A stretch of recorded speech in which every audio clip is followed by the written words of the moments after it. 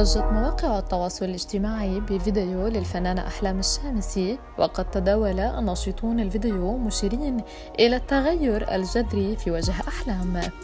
وفي التفاصيل نشر أحد الحسابات المعني بأخبار المشاهير على إنستغرام فيديو لأحلام وهي تتحدث فيه عن حفلها.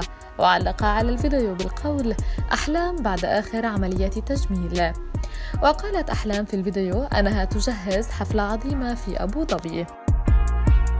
وقد أعرب الناشطون عن صدمتهم بتغير شكل أحلام مشيرين إلى أنها عمدت إلى نحت وجهها وتصغير أنفها وشد عينيها. ما جعلها تظهر بشكل لا يشبه المعتاد. وانقسمت آراء الناشطين منهم من دافع عنها مؤكدا أنها لم تجري أي عملية تجميل وما شكلها هذا إلا بسبب الضعف.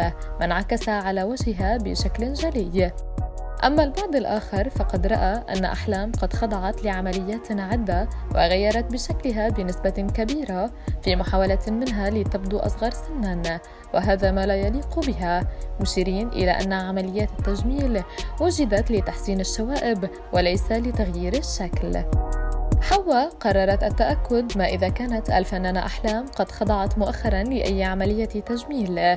وقد تبين أن الشكل الذي ظهرت فيه أحلام هو بسبب فلتر ولم تخضع لأي عملية تجميل. وسابقا كانت الفنانة أحلام قد نشرت فيديو لها عبر حسابها الخاص على إنستغرام تقول فيه أنها خضعت لعملية تجميل للتحسين من شفاهها وذكرت أن اسم عملية التجميل هي الشفاه الألماسية وعلقت أحلام على الفيديو قائلة أنا متعودة قبل أي حفل عشان تشوفوني أجمل.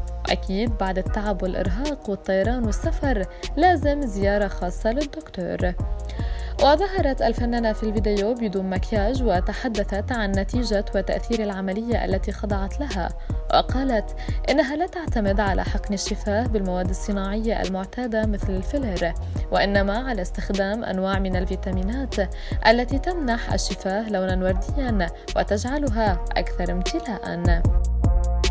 كما وانتقدت أحلام عمليات التجميل الرائجة قائلة دائما تحقنون شفايفكم بمواد وهذا غلط ونصحت متابعيها باتباع هذه العملية بدلا عن غيرها.